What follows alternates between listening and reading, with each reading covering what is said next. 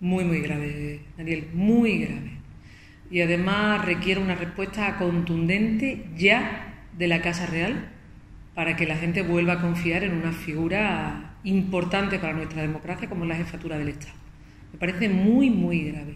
Y le insisto, hace falta una respuesta contundente y ya. Es decir, ya, inmediata, urgente, porque la gente, los españoles tienen que volver a confiar en esa figura, la jefatura del Estado. Forma parte de la arquitectura del Estado, de nuestro país, y, eso, evidentemente, la, justicia tiene que ser igual para todo el mundo. Y hay que demostrarlo.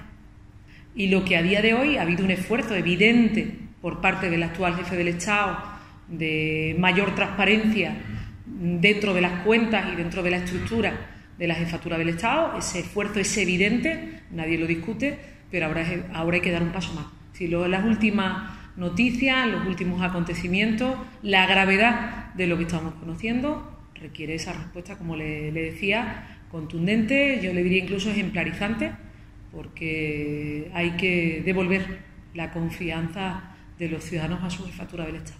A mí me ha sonado muy bien la propuesta que ha hecho el presidente del Gobierno, Pedro Sánchez, sobre limitar los aforamientos a, la actividad que uno desempeña.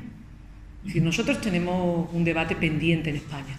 El nivel de aforamiento es muy elevado, incluso hay cierta desinformación.